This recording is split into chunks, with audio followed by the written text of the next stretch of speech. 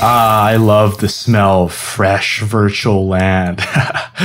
Note the parcel borders, view menu, property lines is on. And if you haven't seen my previous tutorial on how I took an entire house and the surrounding arboreals and bridge, make sure to watch that first because this is actually a part two. And we're ready to rez the house on a new parcel, which is roughly equivalent, the same size and all that good stuff.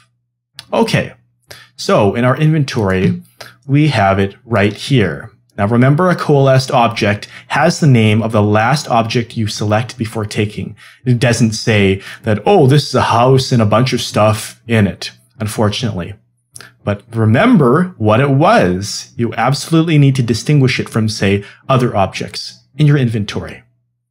And before we rez, be absolutely sure to go into edit mode, control three, as I've been teaching you. You may ask, why is this important?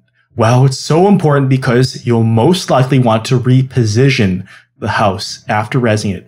And if you're not in edit, then you have to select the whole thing again, and that could be tricky. And I like to make things easy for you. Okay, so now, with the camera in mind, we want to get a good survey, and it's likely you will have neighbors, but I'm showing you this for instructional purposes. So just get a good look around the land, what's happening around, so you feel and you can intuitively deduce where you might want to rez this.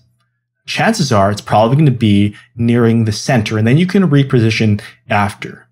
All the objects in a coalesced object will rez relative. Make sure your icon, your, your cursor rather, looks like this. The arrow with the little positioning arrows. And we're going to watch this very carefully. Take a very close look at selected objects and primitives because this will take a while, just like it took a while to take the house. And you'll want to make sure that it stabilizes because it's going to keep going upwards in chunks. So let's look here. You may also want to fly and to get a good view of what's going on since we can do that in Second Life. Okay. Just fly around and survey the land, your new home in Second Life. Okay, I think we've got a good understanding of what's going on here. And here we are, ready to move to your new home. So, click, drag, and release near the middle of the parcel. Don't want to go to the edges because that could result in objects being returned to you and other nastiness. Let's do it right. Release. Then give it a moment and you'll see the count climb up. It may pause at moments and it may get slower and scripts are going to reactivate. So be prepared for some text flooding that way, if you have lots of scripted objects, everything is initializing anew. Let's click this to give it focus so we can clearly see. Don't do anything if it pauses for a few seconds. I'd say give it a minute or so in really big cases just to make sure. And if you remember what the count was before when you selected and took it, that's a handy number because hey, that will tell you right there. Okay, I think that may be it. Now, in case you missed an earlier tutorial of mine and are wondering, why can't you move any of this so far? There's no positioning arrow. It's most likely because, go to Object tab here, something is locked. This is worth double being aware of. So click this once and it will lock everything. You may need to give that a while. It may flash on and off wildly for a moment. And then Click this again to unlock everything. Okay, now that can take a while.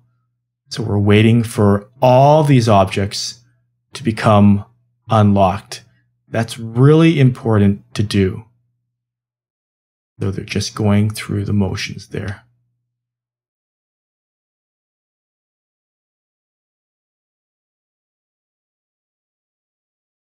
And now, with everything unlocked, you should be able to see the positioning arrows near the center of your entire build. But like I said before, it's best to do this in preparation before you take the objects. That will save you some headache. So now we can use these and I recommend generally even working with smaller sets in this, but this is to show you what a bigger example will look and feel like.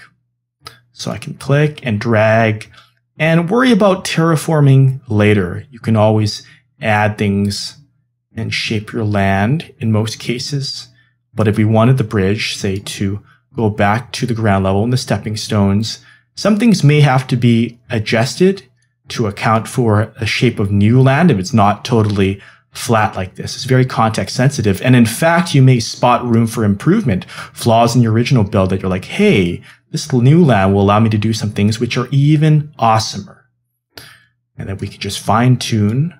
It gets tricky at times. This is why camera controls are so important. You don't want to deselect it. You want to move everything once and say that one's not totally level. Those stepping stones aren't totally on the ground. So I could terraform and shape the ground to roughen it up later. Just move it and tweak it. Make sure it's totally on your parcel. It could be towards the edge, but you shouldn't have anything really overhanging or overlapping. And then when you're really happy with how your build has been positioned like this, let's just check to make sure. Remember, terraforming will help you shape the land to your build. Take advantage of that. Looking inside, let's go past the doors. Again, using the camera controls very sagely to monitor what's going on. That, okay. So everything is what you see is what you get there.